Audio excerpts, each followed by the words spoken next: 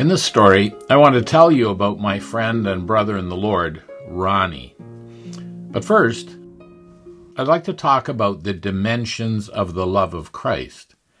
In Ephesians 3:18, you know, the apostle Paul tells us that he prays for the saints that they might grasp how wide and how long and how deep and how high the love of Christ is.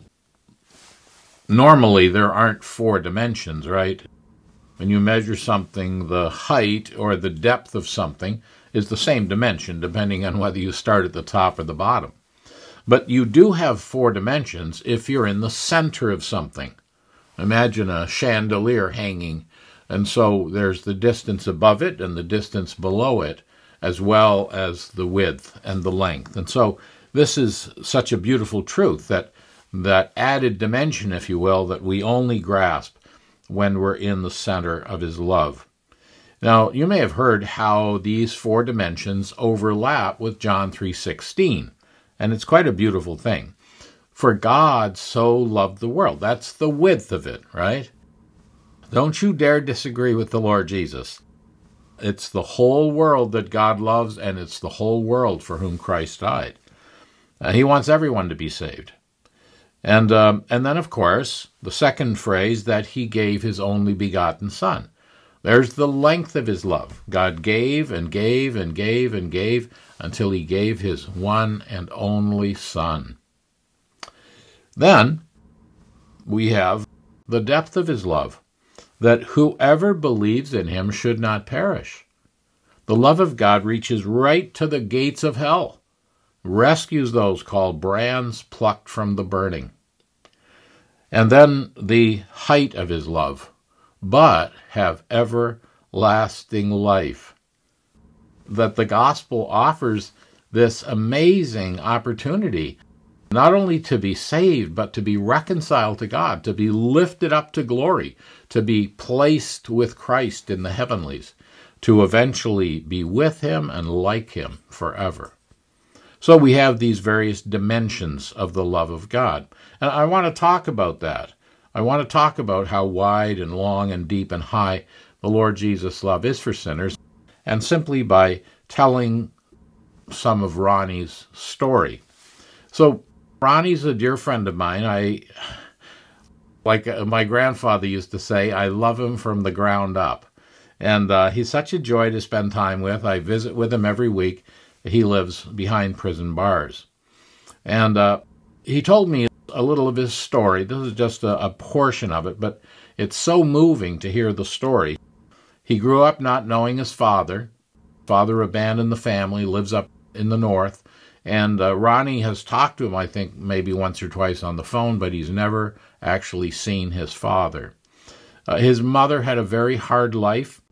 She had to look after four boys and two girls in what he called a little raggy house uh, with lots of holes in the walls and very little. They had a little tin uh, stove, and Ronnie had to chop the wood with a little two headed axe to provide for some warmth in the house in the wintertime.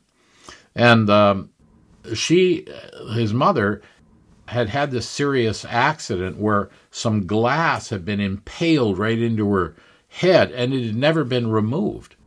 Things were very poor in those days, and uh, medical advances were, were nothing like they are today in rural Mississippi.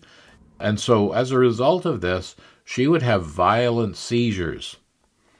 Well, by the time Ronnie was 15, he didn't believe in God. His experience in life was you couldn't depend on anyone. And he grieved over what happened to his mother, this terrible recurring tragedy of these seizures. And uh, his father had abandoned the family. And really, he just couldn't believe in God. Um, he felt that the whole world was against him, and uh, he didn't really have a chance. However, his mother did believe in God and she would speak to him about the Lord. But whenever she brought it up, Ronnie would either ignore her or would mock the idea, said that, you know, God was like Santa Claus. In 1982, the week before Christmas, there was a snowfall in Mississippi. And uh, Ronnie's mother had a series of violent seizures. And at that time, he was so upset, he said to her, There's no God in heaven. The only God there is, I think, your God. And she grabbed his lips and twisted them and said, Don't ever say that again. Well, a few days later, because of the cold in the house, they moved to um, an aunt's house who had central heating. And uh, this was four days before Christmas. In the morning, uh, Ronnie's mother didn't come out of the bedroom where she was sleeping, and so his aunt sent him in. And when he went in, he discovered that his mother had died in the night. He believed this was a judgment of God on him. And as a 15 year old boy, he made his way back alone to that raggedy house, stood in the very spot where he had called his mother God, the only God there is. And this is what he said I want to talk to my mother's God, the God my mother believed in. You took away the one who was closest to me because of what I said.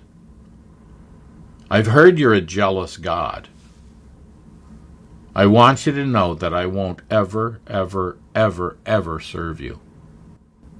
And with that, he left the house and went to live on the streets, 15 years of age. Got involved in gang life, drug life, surrounded by sin and death. Years passed by, he became a slave to, to crack cocaine, and like the prodigal, no man gave to him. And driven one day by his desperate need for drugs, he committed an awful crime and he ended up in jail in 1989. And there, even before his sentencing, he was so crushed under the heavy load of his guilt. And he began to wonder could there ever be forgiveness for a sinner like me? Well, one day to his cell there came a little black preacher from the city of Jackson. His name was Devon Adams. And he shared with Ronnie the dimensions of God's love. That God's arms were wide enough to receive this poor, guilt ridden sinner. That God's gift of Christ had come to save the likes of Ronnie. That he was able to take him up out of the place of spiritual death and lift him up into fellowship with God. Well, Ronnie wasn't saved immediately. He barely could read and write when he entered prison. Couldn't really read through his Bible, and and um, he was busy, of course, going through the court case and getting sentenced and so on. But a few years later, um, he was gloriously saved. I think in 2003, and I say gloriously saved. You can see it on his face. I say he could hardly read or write. He began to work hard. He got his GED, that's their high school equivalence, in 2014, and he got his bachelor's degree, earned it in 2018. Took some seminary courses and uh, began to serve as a field minister there throughout the prison. You know, when you meet him, the Lord's love just uh, radiates from his face. And so that boyhood promise that that he would never, never, never serve the Lord. The fact of the matter is that that's pretty much all he does to serve the Lord.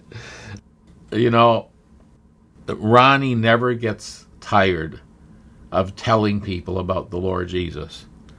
And this beautiful verse in Ephesians 1 7 we have redemption through his blood, the forgiveness of sins according to the riches of his grace.